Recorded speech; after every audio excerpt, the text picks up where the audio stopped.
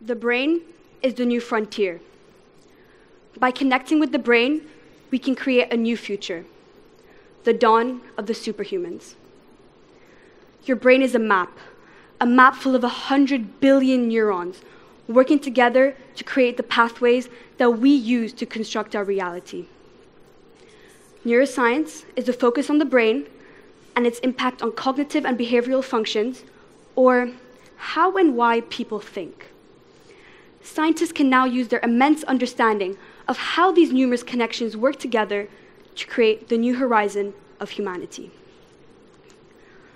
For thousands of years, as stated in Harari's Homo Deus, humans had three main problems famine, plague, and war.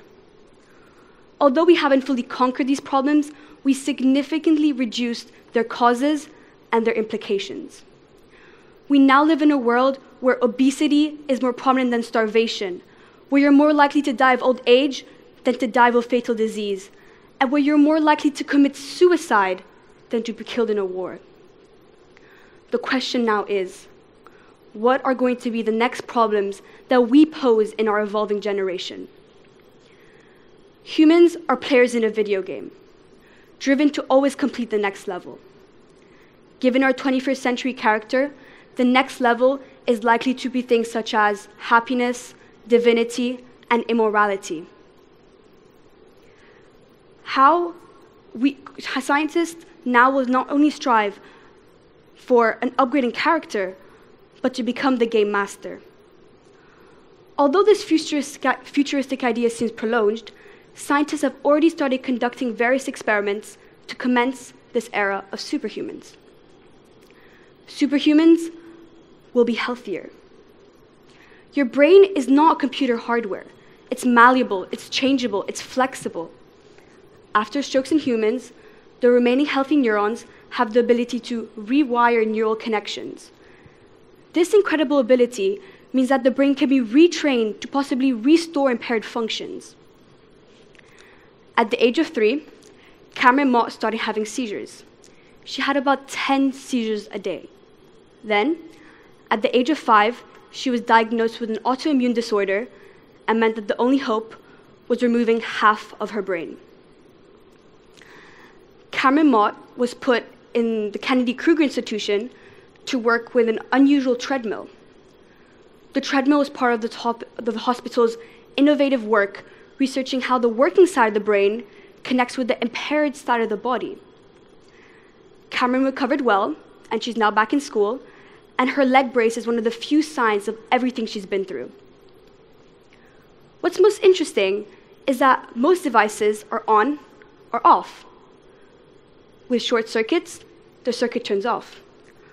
But with Cameron, even though she had 50% of her brain, she had almost 100% functionality. This means that we can now connect with the injured brain and make it better.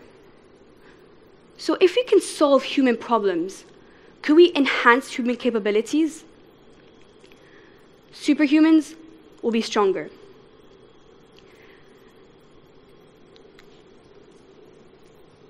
Superhumans will be stronger. Scientists connected electrodes into, into journalist Sally Adee.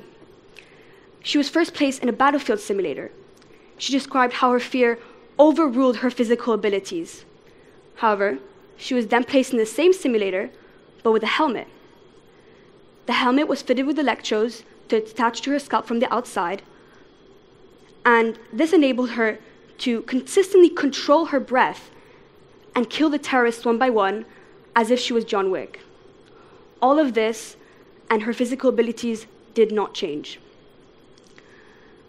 This shows that we can turn a super we can turn a journalist into a super soldier. So, if we can do this by connecting with the brain, what else could we do? Could we turn me into a super cook? Superhumans will be happier. In reality, the feeling of pleasure is just your brain secreting hormones such as dopamine, making you feel sensations of excitement and joy. Scientists are increasingly able to stimulate this feeling of pleasure at will. For example, scientists connected electrodes into the brains of several rats. This enabled them to, feel, to make the rat feel a feeling of pleasure by pressing a pedal. The rats were given a choice between the pedal and a piece of food, which is a necessity for survival. The rats chose the pedal. The rats persistently pressed the pedal until they died from exhaustion and starvation.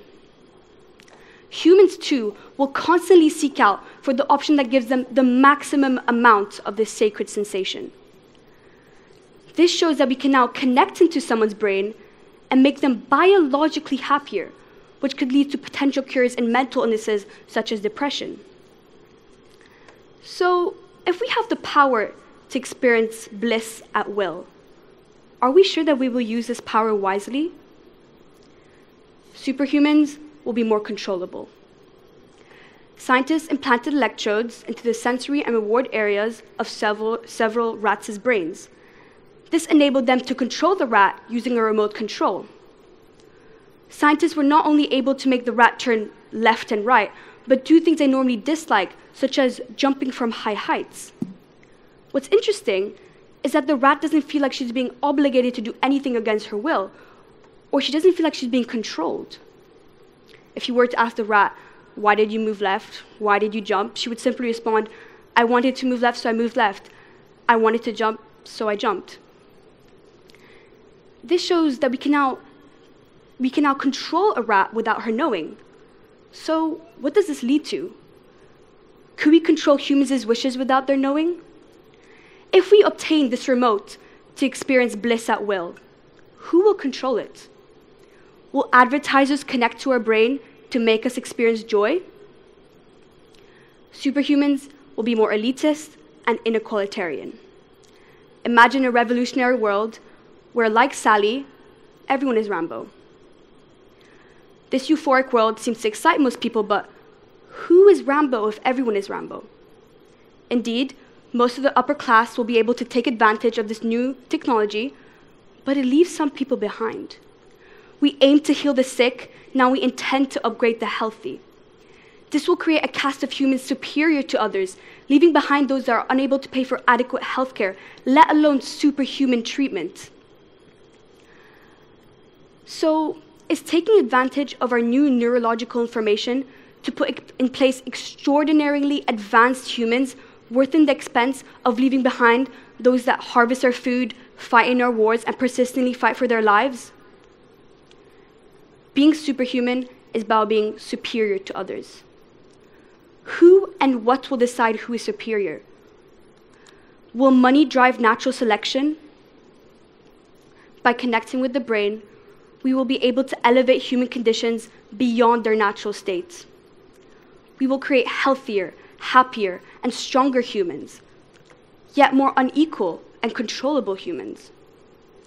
How will we carve out our future? Will we use our power responsibly? Will humans prove to be a better guide for the species than natural selection has been? Thank you.